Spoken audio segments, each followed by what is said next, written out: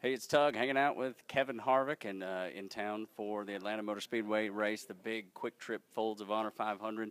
What what's your relationship to those folks uh, at uh, Folds of Honor? Because it's an incredible organization that does so much good for uh, so many uh, families of so many wounded soldiers. Yeah, we've had a great relationship with uh, Major Dan and, and everybody at, at the Folds of Honor for the last several years, just for the fact that Budweiser was a, a big part of helping get the Folds of Honor started, and, and, and they've been on our car, and we've been to Victory Lane, and and you know Major Dan is just one of those people that's just a special person that you just feel better when you get done talking to him. So um, it's great to see what they do with all the uh, military families and the support that they give those families is is pretty remarkable. No doubt about it. Uh, Atlanta, pretty good uh, speedway for you, huh?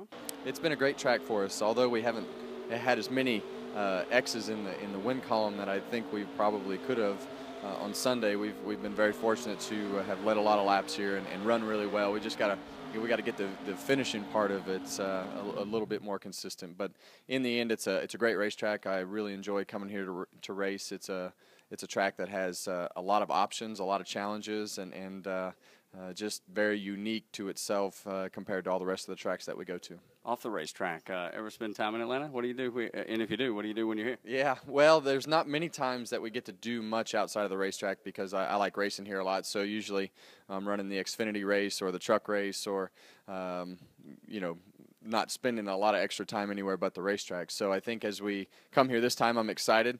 Uh, we've been to the aquarium before. That that's quite quite the spot, and, and this time we're uh, going to spend some time at the Supercross race to go see uh, uh, what they have going on Saturday night. So looking forward to that and, and uh, some good racing over the weekends at the Speedway. No doubt about it. So uh, donuts in front of uh, Philips Arena, a lot of yeah. lot of video on that. Have you ever done anything like that before?